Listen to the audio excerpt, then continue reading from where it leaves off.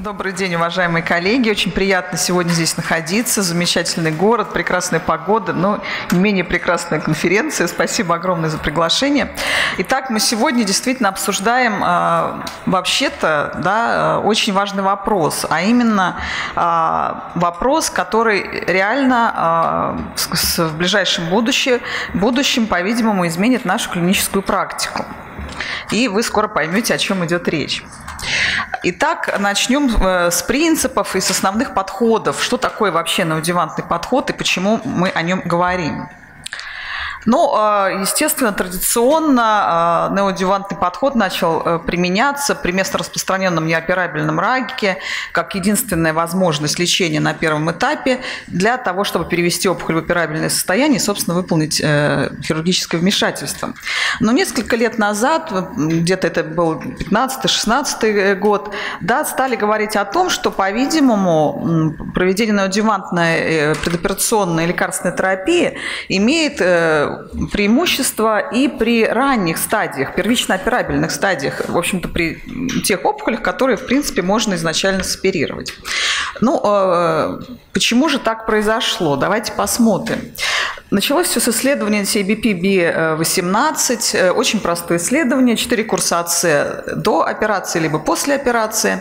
И из этого исследования были сделаны три очень важных вывода. Первое. То, что как минимум э, неодевантный вот этот перенос вот этих курсов э, химиотерапии на дооперационный этап как минимум не ухудшает прогноз, да, равен адювантной терапии. Второй момент – это то, что в группе неоадювантной терапии было достоверно больше выполнено органосохраняющих операций, да, то есть такая деэскалация локального лечения. И еще один очень важный вывод – это то, что выживаемость больных, у которых был достигнут полный патоморфологический регресс опухоли, была достоверно выше, чем те, у тех больных, у которых полного регресса не было. И дальше э, началась эра PCR, да, полной патоморфологической регрессии. Все стали э, говорить только об этом. В большом метаанализе было подтверждено, что действительно э, при достижении полной э, патоморфологической регрессии э, больные э, живут достоверно лучше, выше как безрецидивная, так и общая выживаемость.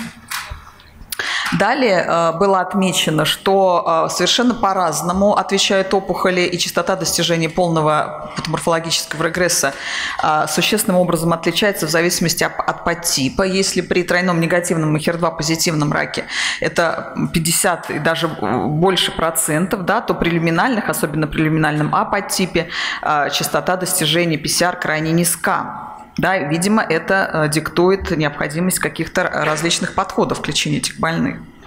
Ну и э, также очень важное наблюдение – это то, что именно при таких агрессивных подтипах, как тройной негативный HER2 позитивный, достижение полной регрессии патоморфологической существенным образом влияет на прогноз да, то есть выживаемость больных, у которых вот с этими подтипами при достижении ПЦР э, была такая же, как при других подтипах. То, то есть это переводит больных неблагоприятными подтипами, э, как бы меняет их прогноз на благоприятный.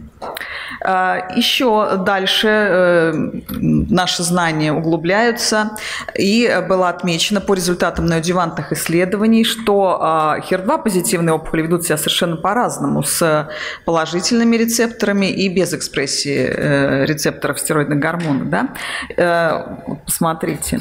И э, Соответственно, был сделан вывод о том, что эти опухоли разные, они по-разному отвечают на терапию и э, имеют разный прогноз, собственно. И, видимо, подходы к лечению этих больных тоже должны отличаться.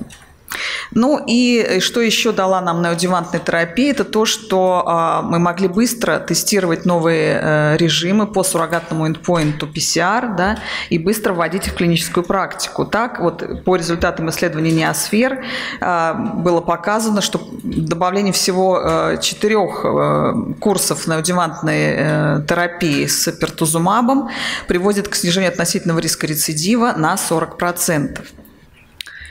Ну и если мы говорим о э, тех годах, вот когда только начинался применяться этот подход при раннем раке, какие были аргументы в пользу неодювантного подхода?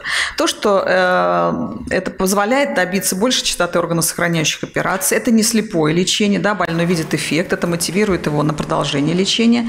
И э, такой вот термин, да, что достижение ПСР освобождает больных с неблагоприятными подтипами от плохого прогноза. Что имеется в виду? Пришла больная, у нее тройной негативный рак, а, G3, да, высокий очень КИ-67, она знает, она прочитала в интернете, что это очень плохой подтип.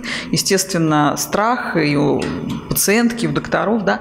Когда мы на первом этапе убираем опухоль и проводим адювант, мы ничего не можем сказать, да, насколько эта терапия ей помогла, что, что, чего мы добились, да. Когда же мы провели ей э, ту же самую терапию в неодюванте, э, сделали операцию, а там полный патоморфоз, мы можем с полным, э, совершенно, да, вот такой полной уверенностью сказать, что мы ну, постарались сделать все, что могли, и освободили вас от неблагоприятного вот этого груза, да, тройного негативного рака. А, ну, если говорить о принципах терапии, да, они тоже изложены подробно в рекомендациях, да, это очень важные принципы, что если вы выбрали э, предоперационный подход у данной больной, то весь его объем надо провести до операции, да, не э, делить на э, дооперационный и послеоперационный этапы, даже независимо от того, какой достигнут эффект.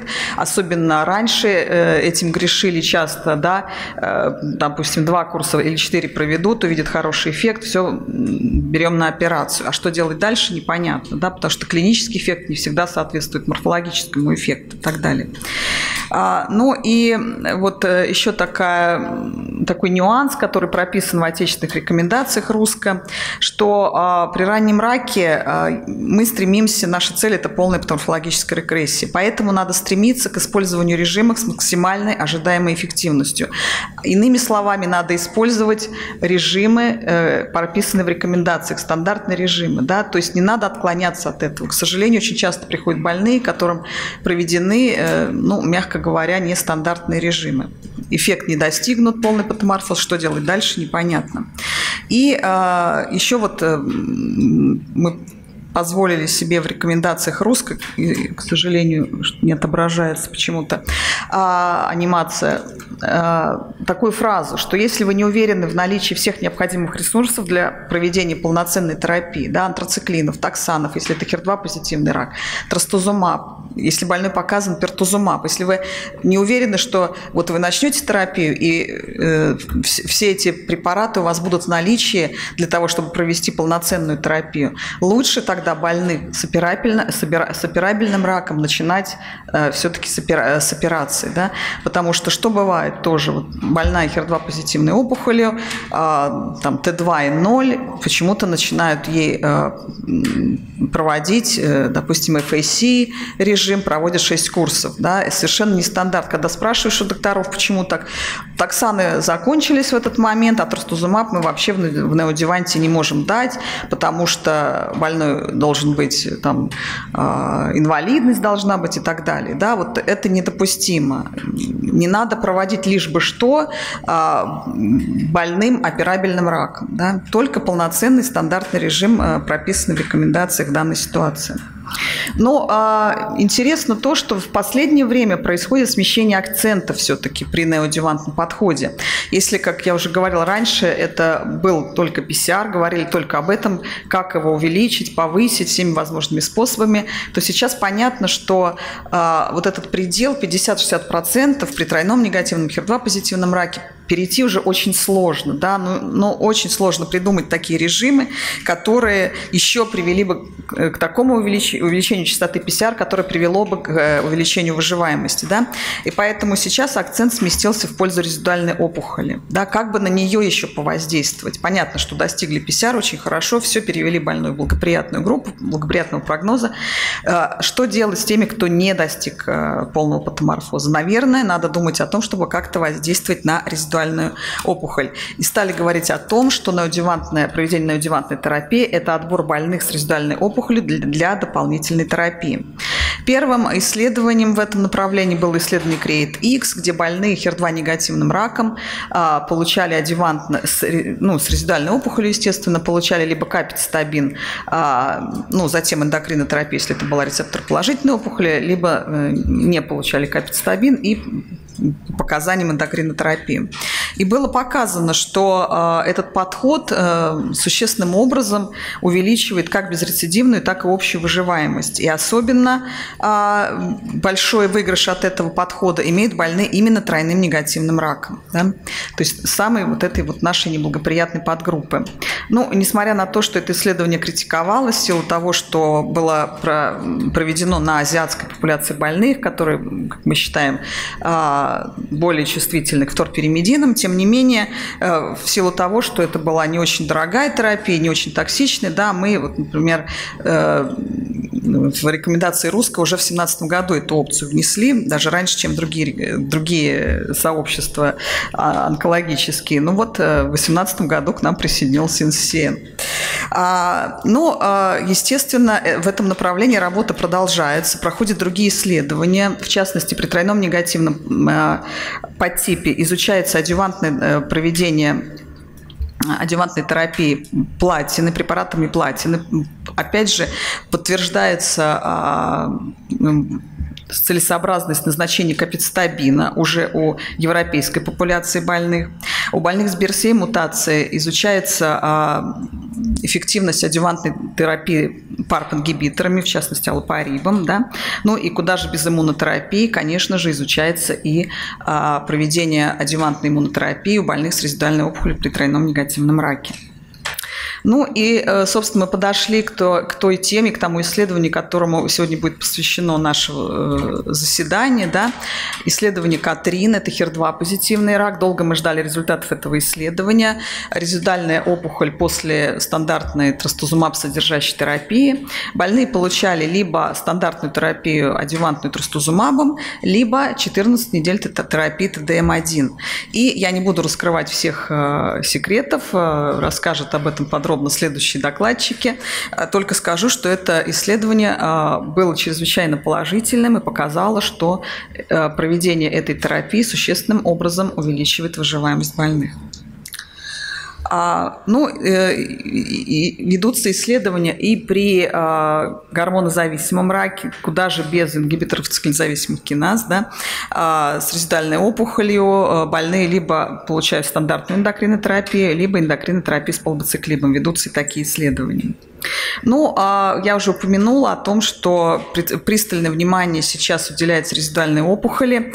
А, было замечено, что не вся резидуальная опухоль одинаково плоха. Да, не все больные с резидуальной опухолью, собственно, прогрессируют. Наверное, она имеет какие-то а, различные свойства. Ну, как минимум, отличается по объему резидуальной опухоли. Да, иногда мы видим, что это единичные дистрофически измененные опухолевые клетки, а иногда это поражение массивной опухоли в молочной железе остаточно и в регионарных лимфоузлах. Ну и очевидно, что так, наверное, по прогнозу эти больные отличаются. И вот была предложена оценка ответа на лечение по системе RCB, Residual Cancer Burden, да, когда э, смотрится несколько параметров, такие как ложа остаточной опухоли, клеточность, э, количество пораженных э, остаточных метастазов в лимфоузлах и размер наибольшего большего метастаза в лимфоузле. И э, все эти данные вносятся в онлайн-калькуляторы центра МД Андерсон, и выдается результат в, в цифровом выражении и в классе RCB, где 0 э, соответствует полному патоморфозу, а, ну и, соответственно, чем больше класс, тем больше остаточной резидуальной опухоли. И было показано, что э, вот эта вот э, классификация по RCB определяет прогноз при всех подтипах рака молочной железы, особенно при тройном негативном и HER2 позитивном. То есть что имеется в виду? Что больные с RCB1 или, как говорят, близкий к PCR, да, а, то есть когда совсем маленькая остаточная опухоль, имеют прогноз, в общем-то, и прогноз близкий к PCR, к больным, с, у которых достигнуто PCR. Да. то время как больные с РСБ-3 или с массивной остаточной опухолью имеют гораздо худшие показатели выживаемости. Ну и, естественно, идут дальнейшие исследования по изучению биологических характеристик резидуальной опухоли. Наверное, скоро в этом плане будут какие-то результаты, которые тоже повлияют на нашу клиническую практику. Ну и если мы говорим уже о сегодняшнем дне, а о 2019 годе, да, то практическими аргументами в, в плане э, проведения именно неодювантной терапии, неодювантного подхода является деэскалация локального лечения, а, получение важной прогностической информации, а, особенно точный да, прогноз мы знаем, когда оцениваем а, резидальные опухоли по РСБ, да, ну и сейчас мы уже говорим о том, что это индивидуализация адювантной терапии в зависимости от наличия характеристик резидальной опухоли, а, а именно а, если говорить конкретно, да, то это капицетабин при резидуальной опухоли при тройном негативном раке и э, ТДМ-1, то, о чем мы сегодня говорим, при э, остаточной опухоли при HER2 позитивном раке. Благодарю вас за внимание.